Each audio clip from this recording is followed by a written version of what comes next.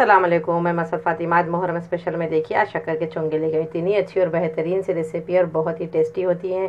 ज़रूर बनाइए, खाइए और हाँ बताइएगा ज़रूर मेरी रेसिपी कैसी लगी। अगर अब तक आपने मेरे चैनल को सब्सक्राइब नहीं किया तो प्लीज़ मेरे चैनल को सब्सक्राइब कर लीजिए और हाँ मेरे वीडियो को लाइक और शेयर करना ना भूलें। चलिए, मैं इसका बनाने का तरीका बताती हूँ।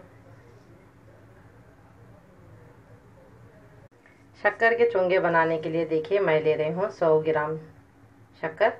और 100 ग्राम मैं आटा ले रही हूँ, गेहूँ का आटा ले रही हूँ मैं, मैदा नहीं ले रही हूँ।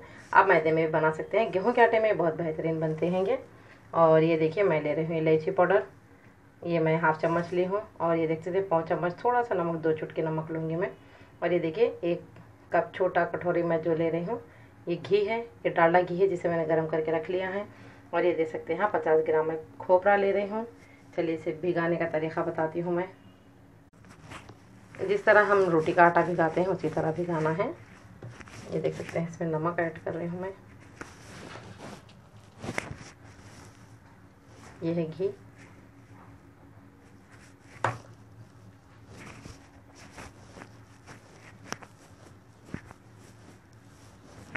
बस थोड़ा सा पानी ऐड करूँगी मैं, देखकर ये पतला नहीं होना है। हम रोटी के आटे की तरह भिगाना है इसे।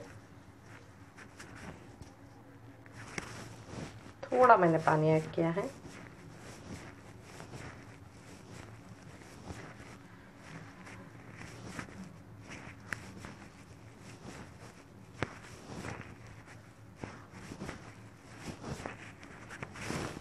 ये मुहर्रम स्पेशल है, ये खाने में बहुत बेहतरीन होते हैं।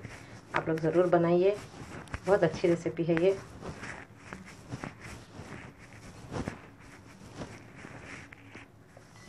देख सकते हैं, मैंने इस तरीके से अच्छे से मुलायम तरीके से मैंने इसे गूंद दिया है।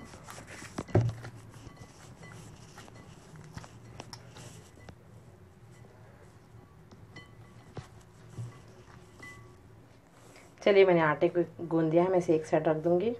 मैंने रोटी डाल दी है तवे पे। जैसे कि हम पराठा बनाते हैं ना, उसी तरीके से ये बनाना है। ये देख सकते हैं, एक साइड पक गया है। अब मैं इसमें असली घी ऐड कर रही हूँ। बस अब मैं इसे सेक लूँगी अच्छे से। एक साइड अच्छे से सेके गया है, मैं दूसरी तरफ़ भी असली घी लगाऊँगी। ये देख सकते हैं, रोटी रेडी है। आप देख सकते हैं मैंने किस तरीके से इसका डिज़ाइन बना रही हूँ। देखिए, ये गरम गरम में ही बनाना अगर ये ठंडा हो गया तो ये नहीं बनेंगे, इसीलिए देखिए। ये देख सकते हैं आप, मैंने कितने अच्छे से इसका डिज़ाइन बना दिया है। ये देखिए, बस इस तरीके से इसे करना है, कुछ ज़्यादा कुछ भी नहीं करना है।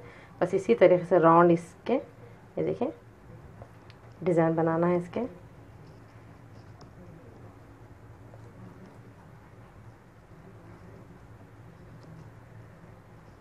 ये देख सकते हैं इसका सारा डिज़ाइन बन चुका है। देख सकते हैं इसका सारा अच्छे से डिज़ाइन बन गया है। अब मैं इसे शक्कर में ऐड कर दूँगी। ये देख सकते एक चाय, छोटे कप के उतना मैंने पानी ऐड किया है।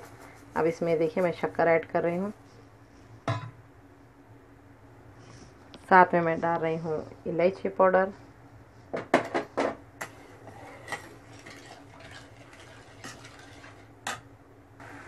ये देख सकते हैं, आप चाशनी बनकर रेडी है। ज़्यादा हमें से गाढ़ी नहीं करनी है। ये देख सकते हैं, बस इस तरीके से मीडियम रहनी है। चलिए, चाशनी बनकर रेडी है। एक साइड हमारी रोटी भी रेडी है। ये देखिए, मैं इसमें चाशनी ऐड कर रही हूँ। इस तरीके से। बस इसे गर्मा गर्म खाना है, ठंडा कर कर नहीं खाना है।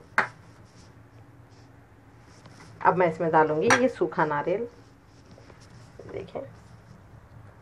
बस इसे आप जिसमें जब भी बना ले गरम गरम खाइए। बहुत बेहतरीन सी रेसिपी है ये। ज़्यादा टाइम नहीं लगने वाला है ये बनाने के लिए। बच्चों को तो बहुत पसंद आता है। चलिए मुहर्रम स्पेशल में मैंने ख़ास बनाया है, शक्कर के चुंगे। देख सकते हैं आप, शक्कर के चुंगे रेडी है इतनी अच्छी और बेहतरीन सी रेसिपी आप लोग बनाइए, खाइए और हाँ बताइएगा ज़रूर मेरी रेसिपी कैसी लगी। इंशाल्लाह मैं नई से नई अच्छी से अच्छी रेसिपी के साथ फिर मुलाकात करूँगी। अल्लाह हाफिज़।